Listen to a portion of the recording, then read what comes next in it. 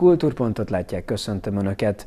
Különleges üvegfestmények, komoly zene és adventi forgatag, ezt kínáljuk mai adásunkban. Tartsanak velünk! Nem mindennapi üvegfestmények, amelyeket Vörös Sándor versei lettek, Csupor Ágnes fantáziadús alkotásaiból láthatnak válogatást a Hegyvidéki Kulturális Szalomban. A kiállított művek egy-egy költemény alapján készültek, és mindenki számára fontos üzenetet hordoznak.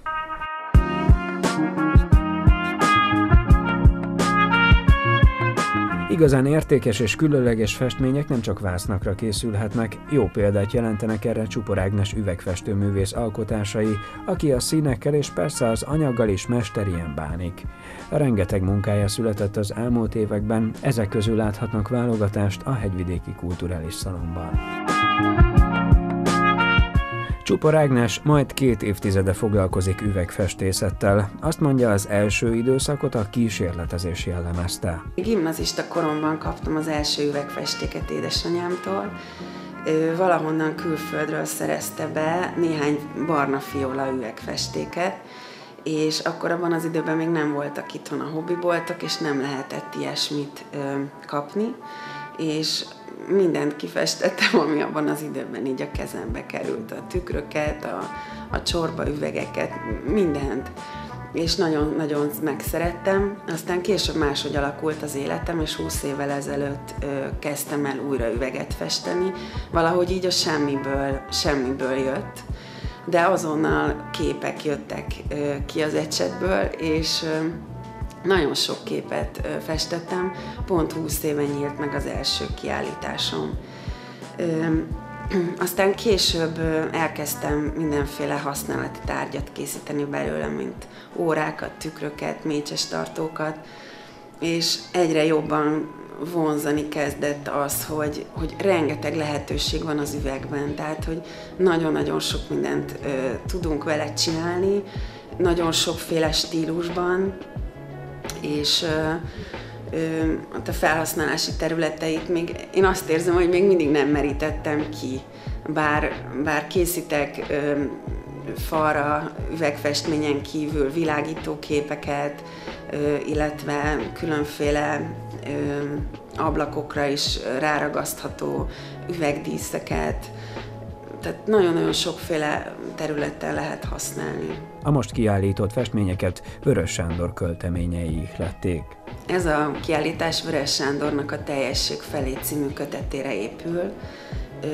Ő körülbelül 20 éves koromban találtam rá, illetve erre a kötetre konkrétan, és ahogy olvastam, így nekem egy nagyon meghatározó mű a mai napig ott van valahol az ágyam közelében, tehát nagyon sokszor olvasok belőle. Az első ö, ilyen találkozás során már képek jöttek elő belőlem, ahogy olvastam a, az írásokat, amelyeket így el is kezdtem még így hajdanán papírra vetni és azt éreztem, hogy, hogy ahhoz, hogy, hogy tehát nagyon szerettem volna ebből egy kiállítást anyagát összehozni, de azt éreztem, hogy ehhez még így nem tapasztaltam eleget, mert egyrészt a technikai tudásom nem elég még, illetve még úgy nem éltem eleget, tehát az ember 20 évesen egész máshogy olvassa ezeket az írásokat, mint 20-25 évvel később és majd biztos egész más rétegeit fogom látni még idősebb koromban, tehát ez nagyon izgalmas, és amikor Menyhár Téva felkért arra, hogy itt a kulturális szalomban legyen kiállításom, akkor hát elképesztő boldog lettem, és meglátva ezeket a nagy tereket, így, így egyszer csak így belevillant a fejembe ez a régi álmom, hogy, hogy Vörös Sándornak a, a műveit fessen meg, és így, így jött létre végül is ez a kiállítás. Csupor Ágnes fontosnak tartja, hogy kihasználja az üveg adta lehetőségeket, több alkotást éppen ezért át is világít, hogy kiemelje a színeket és a formákat. Hát ennek a képnek az a címe, illetve az írásnak, hogy a gondolatok visszája és színe. A gondolat teremtő erejéről szól, hogy, hogy amit mi beleteszünk a világba, az hogyan keletkezik így a gondolataink révén, és hogy, hogy nem mindegy a, a kezdet. És hát egyrészt a, a LED panelnek az előnyeit kezdtem el mostanában így felfedezni, és ez egy LED panel. Az a nagyon jó benne, hogy egyenletesen világítja át a képet a korábbi körbe ledezéshez képest, és valahogy azt éreztem, hogy ez olyan szépen és egyenletesen ö, sugárzik, illetve olyan sok ö, szín van benne, hogy ezt nagyon jó lenne átvilágítani. Tehát, hogy ennek egy ilyen profán oka volt.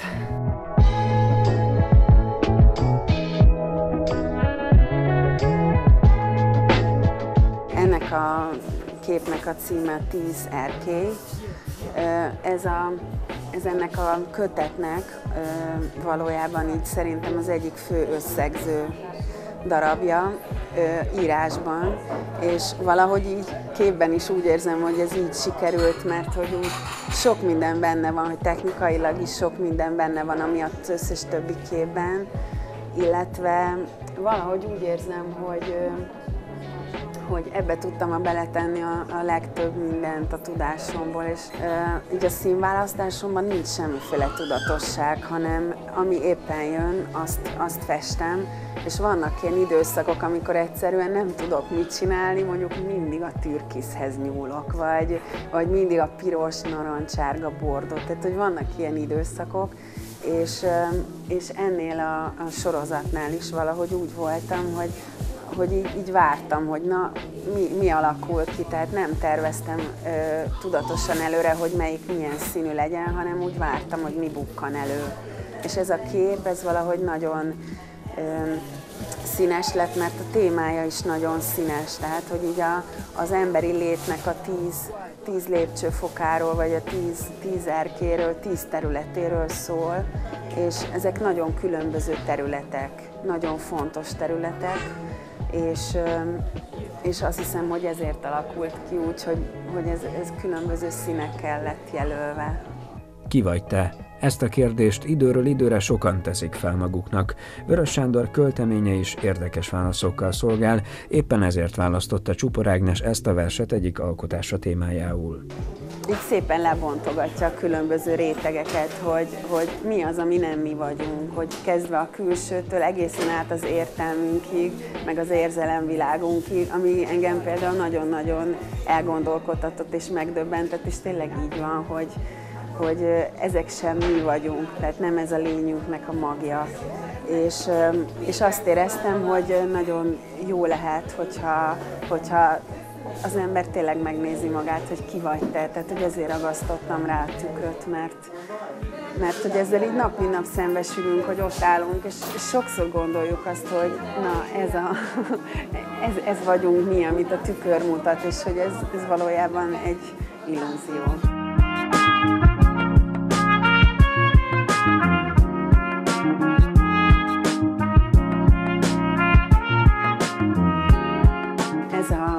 Az ember életnek három fázisáról szól ez az írás a természetes igények, a gyerekkorról, a felnőttkorról és az öregkorról. És, és ugye hát a gyerekkor természetes igénye szabadság, és akkor valahogy így az jelent meg bennem, hogy így, hogy a, a gyerekek nagyon szeretnek mozogni.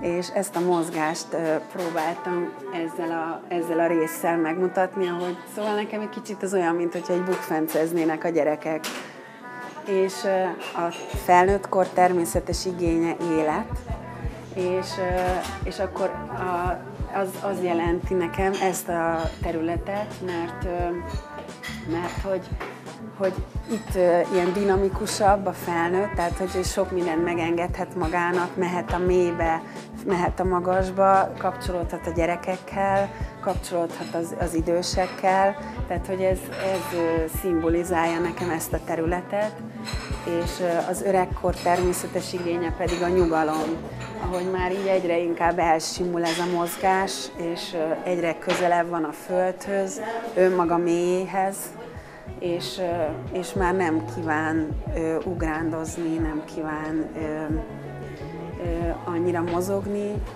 jó esetben. És hogy pont erről is szól ez az írás, hogy, hogy, hogy ha ezt a természetes rendünket követjük, akkor, akkor tudjuk hogy a, beteljesíteni önmagunkat, vagy a feladatunkat, vagy ha ez szerint élünk, akkor, akkor leszünk minél harmonikusabbak. Csupor Ágnes folytatja a Vörös Sándor verseny nyomán megkezdett sorozatot, azt mondja a költemények még rengeteg lehetőséget tartogatnak. Ezt a kiállítást január végéig láthatják, ha ellátogatnak a Hegyvidéki Kulturális Szalomba.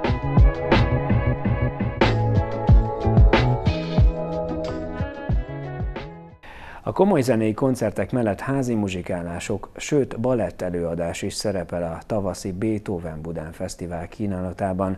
A programsorozat jövőre lesz 20 éves. Egy halhatatlan művész, aki rengeteg szállal kötődött Magyarországhoz. Ludwig von Beethoven 1800 májusában adott koncertet a Budai Várszínház épületében, erre emlékezve rendezik meg évről évre a Beethoven Budán Fesztivált, amely jövőre minden eddiginél több programot tartogat a komoly zene kedvelői számára. A 20. alkalommal megrendezendő fesztivál május 1 -e és 7-e között zajlik majd.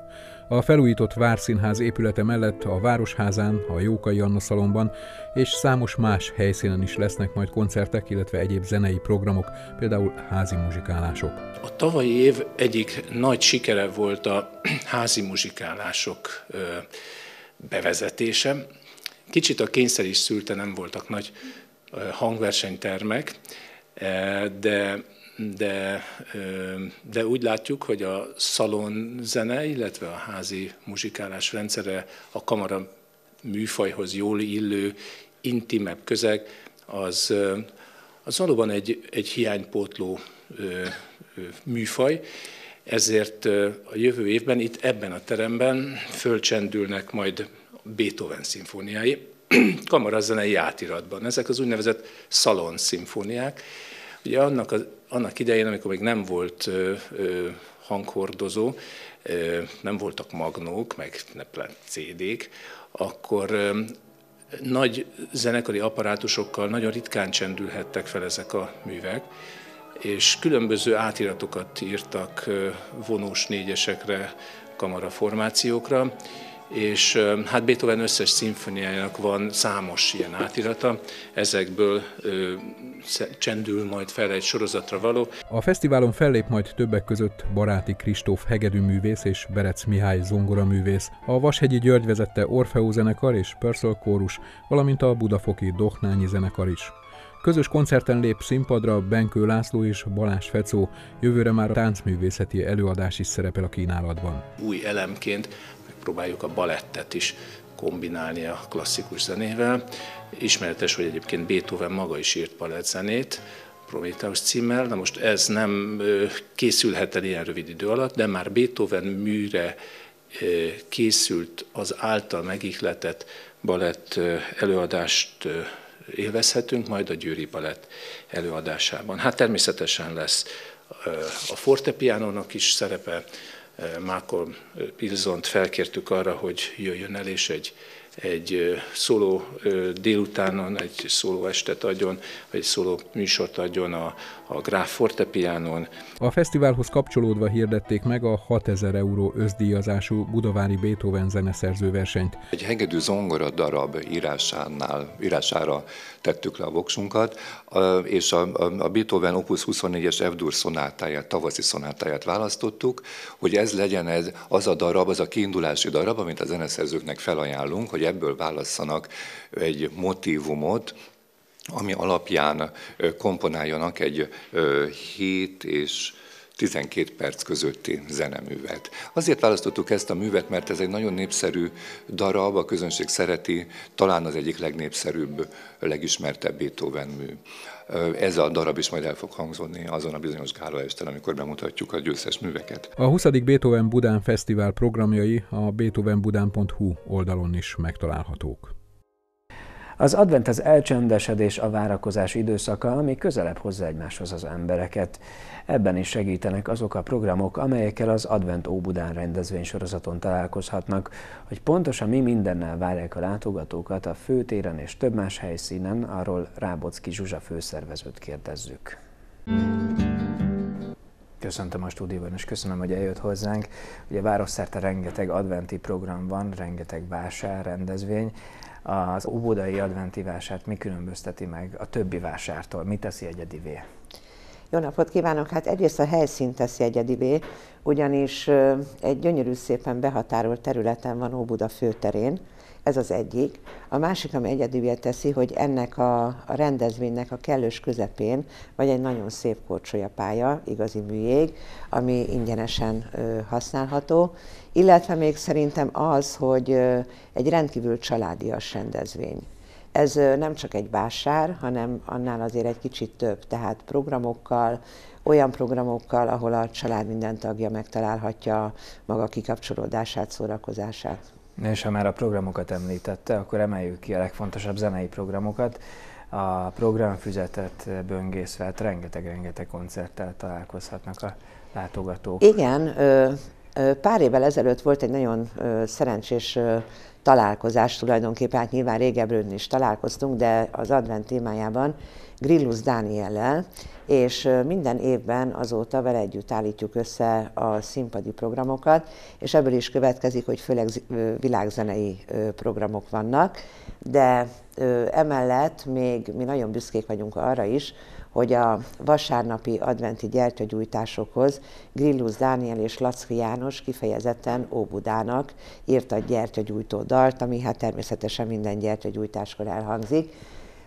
Természetesen a, a, a zenei programok mellett, amit azért egy párat felsorolnék, mert tényleg érdemes, fellépnek többek között Szirtese Dinamókus, a Romengo, a, természetesen a legutolsó 23-ai zárókoncert a Kaláka, mert hát ő, ő, velük tulajdonképpen a nevük fémjelzi ennek a zenei programját, de a gyerekeknek is lesz Grillus Vilmos előadása, és még számos egyéb olyan program, ami nem csak feltétlenül színpadi program, mert a téli napforduló napjára egy nagyon látványos tűzszínház lesz, lesznek gólyalábas betlehemesek, óriásbábosok, tehát minden területen igyekszünk a rendezvény minden területén valami tényleg látványos és színvonalas és jó programot biztosítani.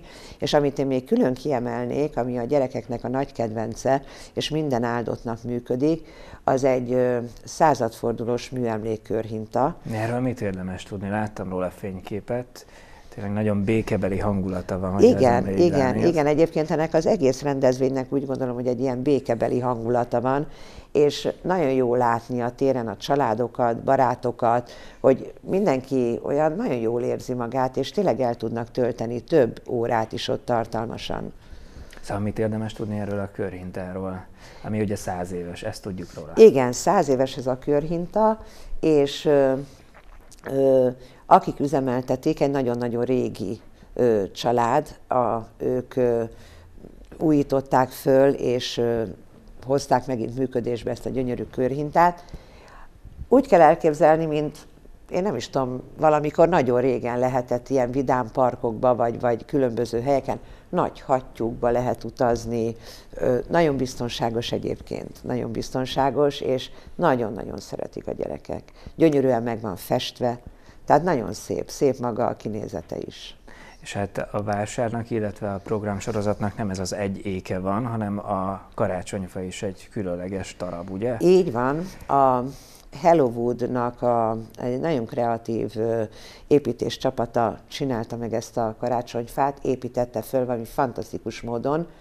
40 tonna tűzifából épült ez a karácsonyfa, bejárható, tehát be lehet menni a belsejébe, meg lehet nézni a szerkezetét, és az tényleg egy fantasztikus volt, ahogy építették a ilyen hegymászók, és illetve ipari alpinistákkal építették föl, hogy mint, mint egy, egy, minden egyes legó darabot rakták egymásra ezeket a hatalmas nagy tömböket. Nagyon, nagyon érdekes építészetileg és látványilag is nagyon szép. Na most, amikor hetedikén bontjuk a karácsonyfákat, akkor ez a 40 tonna tűzifa a máltai szeretett szolgálat segítségével ilyen rászoruló családokhoz jut el, úgyhogy ez az adományfa, karácsonyfa tulajdonképpen Óbudán. Van egy nagyon kedves hagyomány, a kerületi iskolák és óvodák neveznek be karácsonyfa díszítő versenyre. És akkor természetesen van Óbuda legszebb karácsonyfája, díjazottak, egyebek.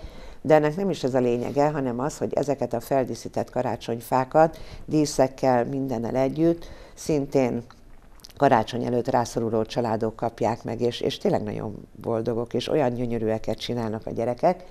A másik, ami szintén hagyomány, hogy minden évben egy óbudai civil szervezetnek adománygyűjtést szervezünk, és ebben az évben az elveszett állatokat, elveszett állatok ellátó és gyógyító alapítvány a kedvezményezett, és ez nem csak azért van, mert hogy ez egy amúgy is egy, egy állatbarát és kutyabarát kerület, hanem mert ez az alapítvány, ez évente több ezer iskolás és óvodás gyereknek tart előadást a felelős állattartásról, tehát egy komoly, nagyon komoly oktatóprogramon dolgoztak ki.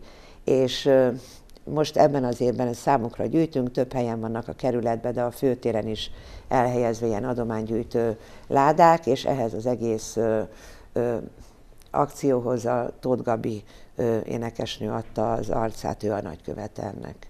Mozduljunk el egy picit a főtérről. A Csobánka téren is ugye szerveznek programokat, pontosan milyeneket? A Csobánka téren is van, és a Csobánka téren is van egy korcsolya fája, valamivel kisebb, mint a főtéri, de, de ugyanúgy ingyenesen használható, ugyanúgy műjégből. És a Csobánka téri rendezvényeknek mindig egy külön attrakciója a jégangyal faragás a, egy jégszobrász érkezik, és akkor... Ez egy komoly művészet, igen, ugye? Igen, igen, és ott, ott helyben elkészíti ezt a jégangyalt, és hogyha hát az időjárás kedvező, akkor azt még napokig csodálhatják a, az emberek, ha nem, akkor sajnos már két nap alatt elolvad, de mindig a, a, a Csobánka téri nagy karácsonyfa alatt áll, illetve hát kiállításokkal is készül a közösségi ház. Milyen ami, kiállítások lesznek idén? Ö, hát ö, a korcsolyázásról is lesz egy ö, kiállítás, magáról a korcsolyá történetéről, és amit még nagyon fontos elmondani, az egy ö, nagyon érdekes ö, pontja a Csobánka térnek, hogy a közösségi ház ö, külső ilyen keringőjén, kerengőjénél mindig ö, kültéri kiállítások is vannak, nagyon szép fotók, képzőművészeti alkotások, tehát vegyesen de nem csak ott vannak programok, hanem a Kaszásdülői Kulturális Központnál és a Pete Ferenc téren van Kaszásdülőn, ahol fényfestés, adventi vásár, kézműves foglalkozások vannak, de ma a fényfestést említettem, akkor egy picit hadd térjek vissza a főtére, ugyanis a főtéren először ebben az évben nálunk is minden pénteken a koncertek után fényfestmények vannak, nem az a fajta mozgó fényfestés, amit mondjuk a bazilikánál látnak az emberek, de nagyon szép, ilyen régi karácsonyok polgári hangulatát idézi meg, tehát minden este általában 8 órától este 10-ig, nem minden este, minden péntek este 8-tól 10-ig ezt is meg lehet csodálni. A teljes városháza épülete ilyenkor meg van festve, ezzel nagyon szép.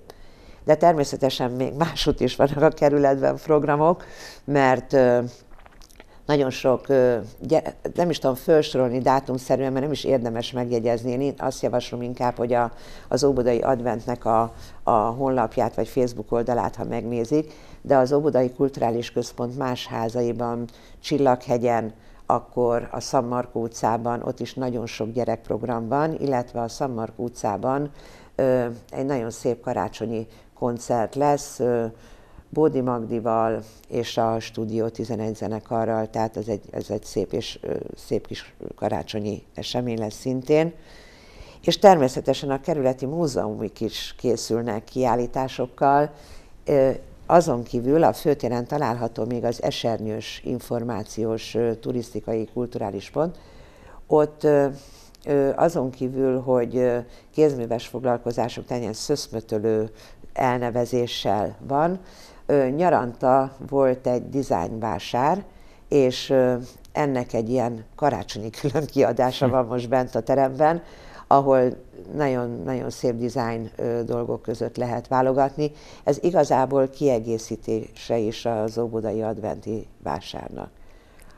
A vásárról azért még egy pár szót mondanék, mert van egy-két különleges dolog is, például van kint Kovács, tehát kovácsolt vas termékeket árul, de ugyanakkor bemutatót is tart, és ami ennek még külön szerintem az érdekessége, hogy a Kovács egy asszony. Hm. Tehát ő, ő tartja ezt a mesterség bemutatót, és hát érdemes ellátogatni. Nagyon sok kiállító van, mind a kézműves termékekből, mind pedig az ilyen gasztro falatokból, italokból, és én úgy gondolom, hogy, hogy ott akár a, a kézműves termékek közül tudnak a karácsony falá választani, de akár a 12 féle beigli választékból is tudnak hazavinni az, az ünnepi asztalra az emberek.